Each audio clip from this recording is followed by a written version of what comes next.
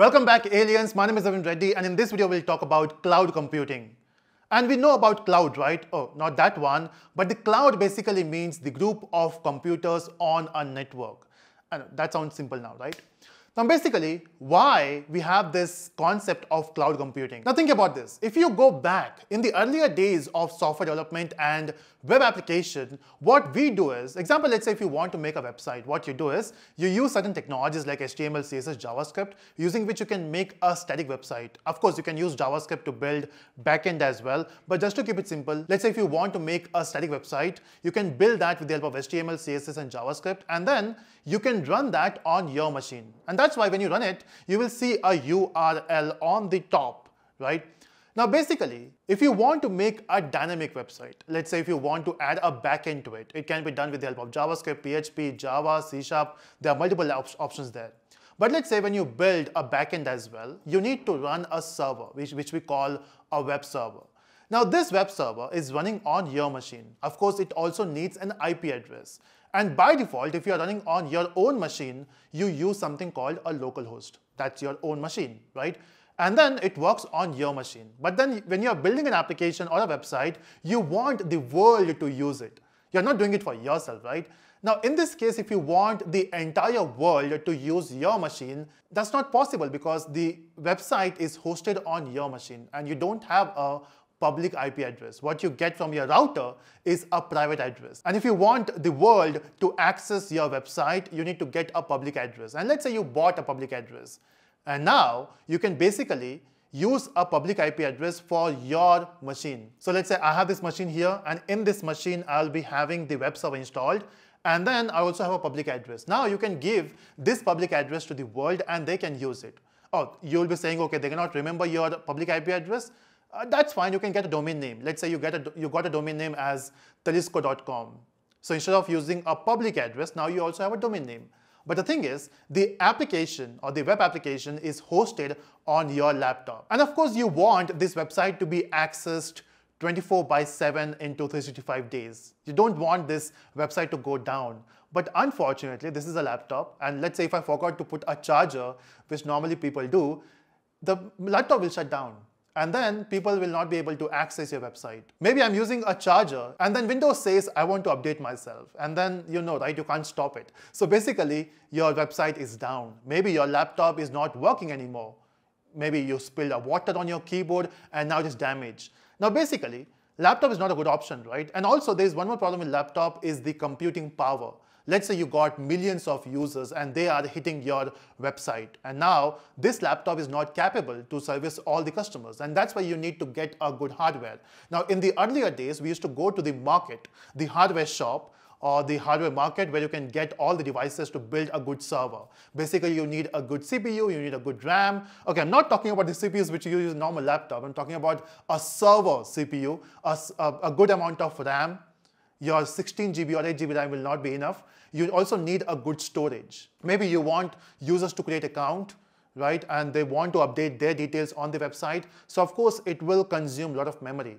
And then you have to build a big server. And let's say you invested around 1 million uh, that's a big amount. So let's say invested around $100,000 to build a big server which can cater to the millions of users. And now everything is working.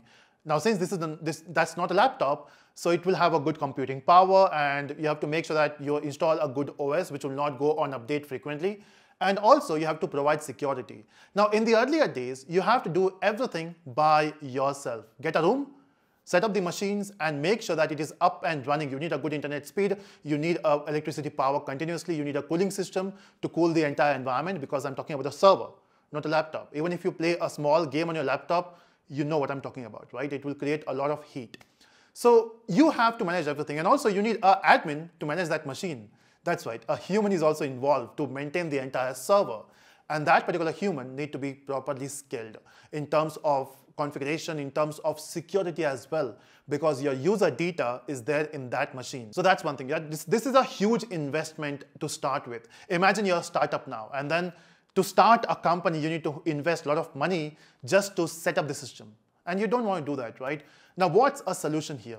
In fact, before going for solution, we have few more problems. Let's say you have this system ready and you have your e-commerce website and now everything is working well because you're getting around 1,000, 2,000 or 10,000 users every day. But let's say tomorrow there's a sale.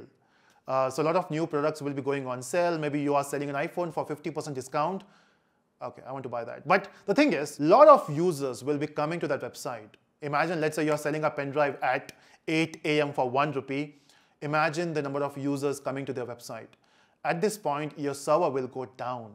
So before going down, what you will do is you will go to the market, you will buy a new server with the same cost. And the thing is, everything is working now, and then the sale is over. Now you don't have that much of users and we have extra server lying there doing nothing. So you wasted your money there, right? Now to solve this problem, what you can do is you can, instead of doing everything by yourself, buying a computer, maintaining it, getting a person who can manage everything, basically an admin, and also a person for the security, you can say, okay, I don't, I don't want to do this. Let me just hand, it, hand these things to some experts. Now this is where there are companies who provide you this service. They say, okay, you don't have to buy server by yourself. You don't have to manage. You give us the money. We will buy the servers. We will buy everything and we will manage it. Still, you have to do the initial investment. You have to buy those servers, which is not with you. They are managing it. So that was one solution. But then again, that was not optimized. Uh, in fact, these people, they buy the server and they create mul multiple virtual machines on the same server and they cater to different clients. Maybe you can say multi-tenant uh, type of stuff where we have we don't have one customer, we have multiple customers on the same server. But still you are investing and still they still have only one machine. What if something goes wrong? What if there is a network issue? What if there's a power failure? The entire website goes down. And this is where we thought, okay, let's not use one machine. Let's use multiple machine at multiple locations because your users are not from one region. They are from India, US, Europe, uh, Middle East. They are coming from everywhere. And if you want to cater to all the customers, you need servers in each location. That will reduce the latency, right? Now, this is where we are, instead of going for one server, what if you can go for multiple servers? They are connected and provide you the solution. Example, let's say even if you want to add, let's say five numbers. So you can send that request to one server. Hey, I want to add five numbers. One server can do it or multiple servers come together to solve that problem. And that's what happens when you search something on Google. When you search, it's not like only one server is involved. There are multiple servers working together to give you that result in instantly. So basically you need multiple servers and when you connect multiple servers, that's where the new term arrives, which is cloud. So cloud, what is cloud basically? Cloud is a combination of multiple servers which are there, which, is, which you're not handling, someone else is doing for you. Now, who is doing it? We have multiple service provider. You might have heard about Amazon, AWS, we got Microsoft, Azure, we got uh, Google Cloud, uh, we have Red Hat also in this market. We also have IBM. Everyone is now in the cloud market. And they say, you don't have to buy the servers. We have servers. You just pay per use. That's right. You don't have to do any, any investment. Let's say you're a startup and you don't have that much of money. You don't even have customers now. And every day you get new customers. What you can do is you can say, hey, Amazon, I have, let's say, 1,000 users per day. Give me a computing power only for those users. And the moment I get more users, just scale it. Give me two instances. Give me a bigger instance. That is elastic scaling, which we call. In fact, they also, they also have something called elastic cloud computing, which is the resources expands on your requirement. That's the power of cloud. One of the best thing is you're not managing it and they give you uptime, which is almost 100%, not exactly 100%, uh, but they give you almost 100% uptime and you're not managing anything.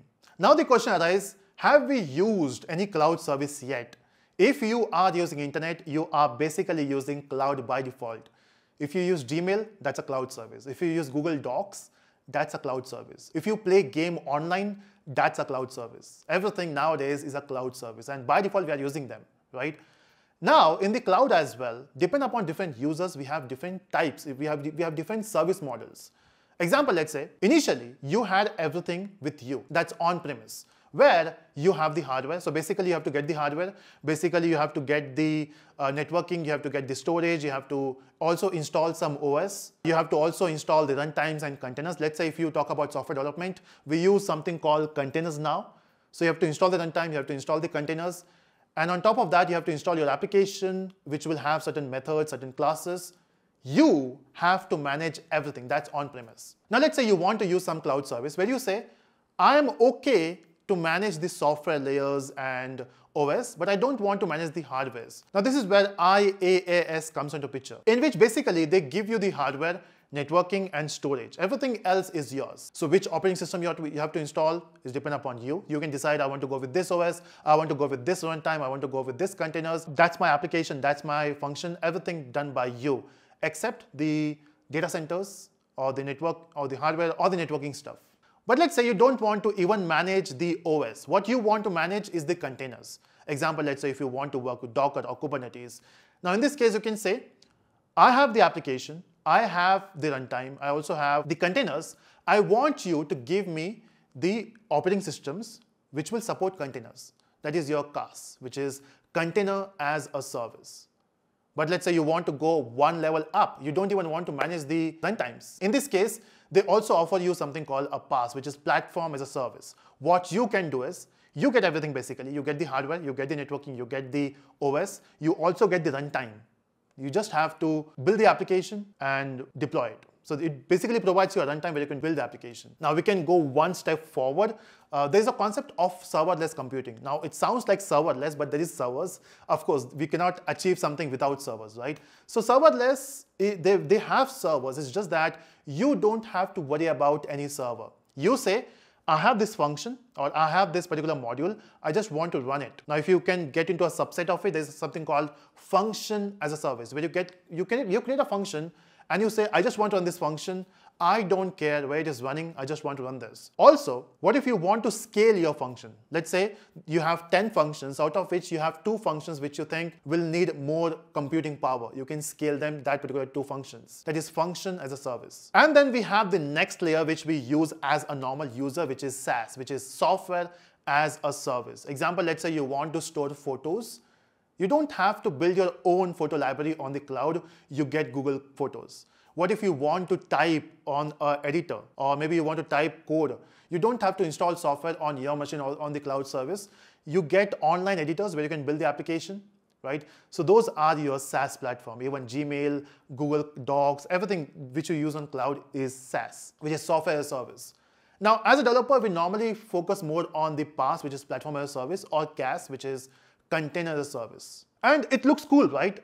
The cloud services looks cool. And you will be thinking, okay, this is good. Every company should be using cloud. They are using clouds and most of the companies are actually moving from on-premise to cloud services. But the problem is, if we talk about cloud, let's say AWS, now it's a public cloud, which simply means if you host your application on a public cloud, Amazon is managing it right? And they are basically sharing the hardware with the other tenants as well, other people as well. Now, in this case, there are some issues in terms of security. Of course, in terms of cost, it is less because you're using a public cloud and it is shared by different people. But what about security? The data which you get from your customers are getting stored on this servers. Normal data, that's fine. But what if there's some financial data? What if there's a personal data? What if so there are some data which no one should know? But let's say as a company, you're storing your customer data on a cloud service, which is third party, there is a kind of risk here. Now, by default, all the servers are public clouds, right? So these are accessible for anyone. It's not like they can hack your data, but it is hackable, right? How can you trust it? Also, there are some regulations which you have to follow from the government. And that's where we have some issues with the public clouds. What's the solution? You can create something called a private cloud inside your company's wall. So basically, you have a cloud which is a private cloud for your own company. So you'll be having multiple data centers. Someone will be managing it, but you have a control on your private cloud. And all your customer data will be stored on private cloud. Advantage, safety. Drawbacks, cost. Because now you have to manage everything. So what if you can get a solution between these two? And that's where we have something called a hybrid cloud. So what you do here is, every company will have data from the customer. Some data is private, you have to maintain the privacy there. And some data is okay to shift to public clouds. So you will be using some services of public cloud and some from private cloud. This is the hybrid cloud. And most of the companies are using it. In fact, you might have seen this. Companies are moving from on-premise to the cloud.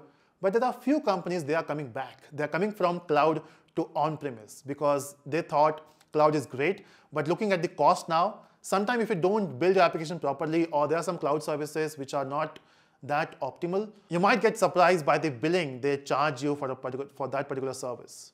So yeah, that's about cloud computing. So what simply means is instead of doing computing on your own machine or your own server, you can give this computing power to some third party, some cloud providers.